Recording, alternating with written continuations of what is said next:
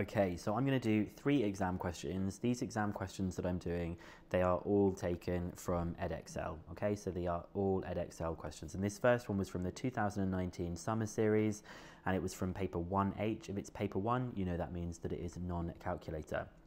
So I'm going to do this question, first of all, like the slower way, and then I'm going to try the quicker way afterwards. Um, I imagine most of you would probably think of it the slower way to begin with. So it says here that h is inversely proportional to p, and then p is directly proportional to the square root of t. It then tells us all this information here and it wants us just to find out what h is in terms of t. So the slow way would be to say, okay, well h is inversely proportional to p, so h equals k over p. And I'm going to use the information that they've given us. So h is 10 and they've said when p is 6, so that's k over 6, meaning that k is 60, so h is equal to 60 over p. That's that first part dealt with. It then says that p is directly proportional to the square root of t. Now, I'm actually not going to use the letter k because I've already used the letter k earlier on, but if you did, it's not going to be a problem. Instead of using the letter k, I'm going to use the letter c just because it's another letter that we often use for a constant, okay?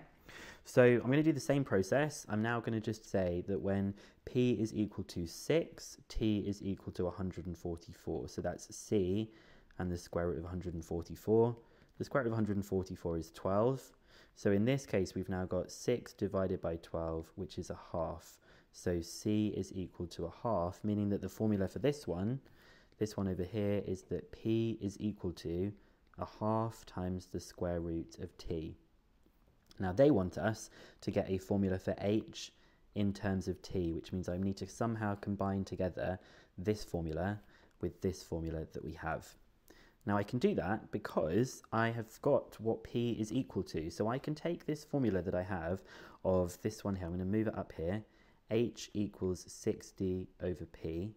Well, 60 over P is a half root T. So that means I've basically got my answer here.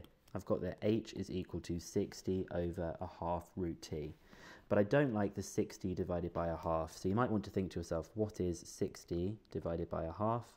Well, that's the same as 60 multiplied by 2 over 1, which is just 120. So this is h equals 120 over the square root of t, and that's our answer. But I said that we can do this in a much quicker way. So I'm going to erase all of this, and I'm going to see if we can come up with this same answer in a much quicker way. So I'm going to leave the final answer just so that I can show you that we end up with the same thing. This time we've got that h is inversely proportional to p and that p is directly proportional to t. So I could go straight in and actually say that h is actually going to be inversely proportional to root t because if p is proportional to t then I could replace this p with root t because they're directly proportional to each other. So I was able to kind of take that p and replace it with root t, meaning that h is just equal to k over root t, and I can completely ignore the fact that p is equal to 6.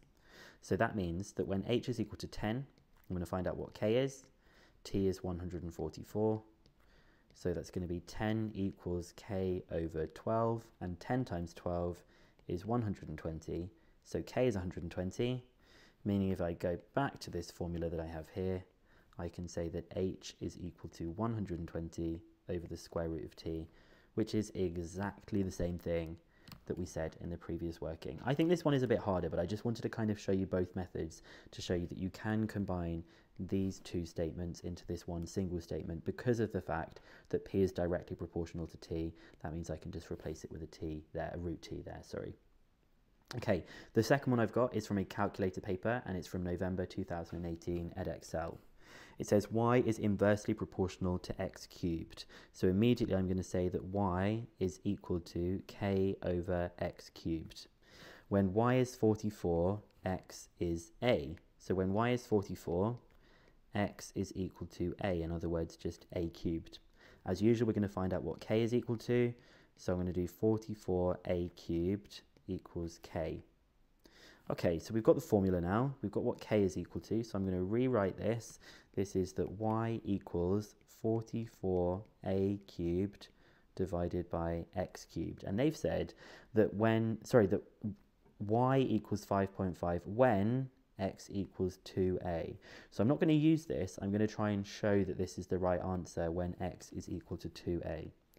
So when x is equal to 2a, y is going to be equal to 44a cubed divided by 2a all cubed. Now it might be worth working this out that 2a all cubed, that is 2 cubed times by a cubed, which is 8a cubed, to make sure that you cube the 2 and the a separately.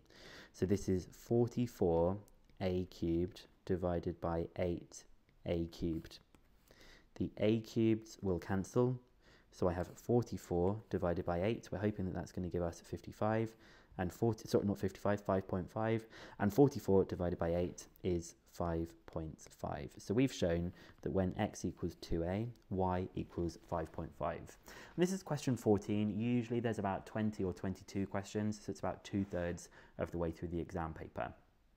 Last one I'm going to show you is from the 2020 series, and this is paper 1H, which also means that it is non-calculator. And they've blended this question with some percentages. So it says that x is proportional to the square root of y. So x is equal to k, the square root of y.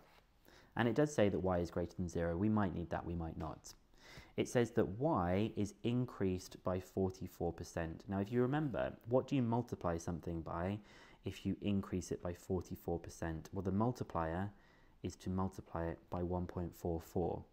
So if y is increased by 44%, this question is weird. We're not even going to find out what k is. To increase y by 1 point, by 44%, we would say that it is y multiplied by 1.44, which is 1.44y. So I'm going to actually use this formula, and I'm now going to say, okay, well, x is equal to k multiplied by, I'm changing it and saying that it's 1.44y. Now I'm going to have to use my knowledge of surds and think, okay, well I could split this second part up into the square root of 1.44 and the square root of y. And you need to say, okay, well can I work out what the square root of 1.44 is? Well, we know that the square root of 144 is 12, so the square root of 1.44 is 1.2. So this means that x is equal to k times by 1.2 the square root of y. And if I write that in a slightly different order, this is 1.2 k root y. So this is what it was originally. It was x equals k root y. And now we've said that x is equal to 1.2 k root y. I don't know why I've got that all jumping up here. So this is saying that x is what it was originally, k root y, but it's been multiplied by 1.2. So, as x has been multiplied by 1.2, hopefully you can recognize what this means. It has been increased by 20%. So the answer to this question, what is the percentage increase? it is 20%. And actually this question doesn't have a ton to do with the proportional stuff, does it?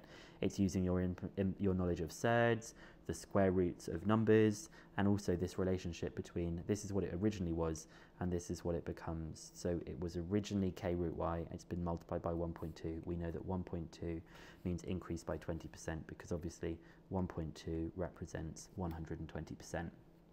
So that's everything for direct and indirect proportion. Um, hopefully, direct, or, sorry, indirect is also the same thing as inverse proportion as well. Um, so you've got those three exam questions and good luck with all of your studies. Found this video helpful? Then why not drop it a like and consider subscribing to my channel. This is the end of the playlist, but head to my channel's homepage to see what else I might be able to help you with. And as always, wishing you the very best for all your studies.